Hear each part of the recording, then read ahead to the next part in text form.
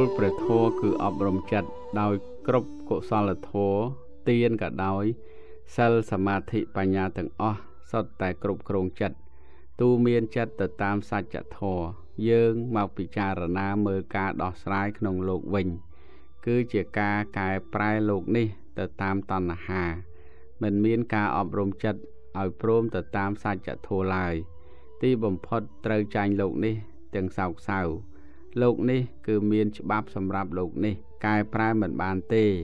អ្នកដែលសិក្សាអំពីលោកនេះ ចប់បរិញ្ញា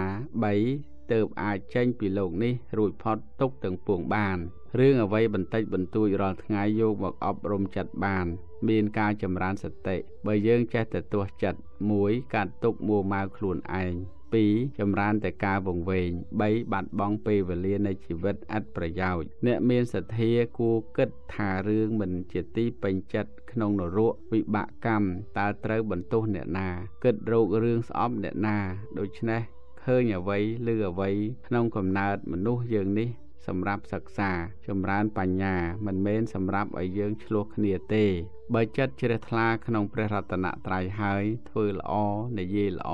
នេះឯងជាការដាំពូជល្អតាមច្បាប់ធម្មជាតិម្យ៉ាងទៀតសេចក្តីល្អគឺជាមេស្រូបតែងតែស្រូបយកអវ័យអវ័យដែលល្អល្អចូលមកដល់ជីវិតនៃអ្នកដែលល្អនោះឯងគួររលឹកនឹកដល់ព្រះសម្មាសម្ពុទ្ធព្រះសាវកព្រះពុទ្ធមេដា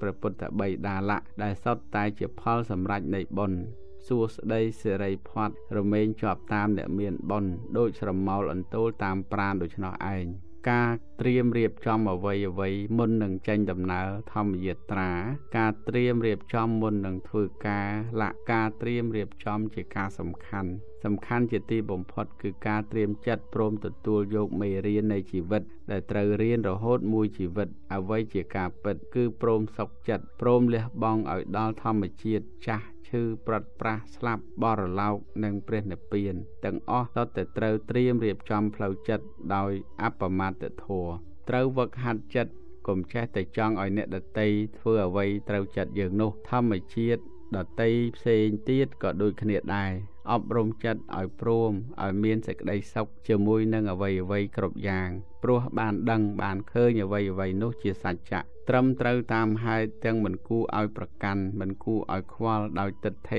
តណ្ហាឡើយបរមត្តដែលមានដែលកំពុងប្រកបមានស្មារតីមានសេចក្តីដឹងខ្លួនរលឹកបានហើយ គឺហាមតណ្ហាព្រោះមិនមានខ្លួនយើងហើយស្រេចគឺមិនប្រាថ្នាឲ្យយើងបានអ្វីនោះឡើយព្រោះថា មានតែវិថីចិត្តដឹងអារម្មណ៍ក្នុងលោក6ប៉ុណ្ណោះ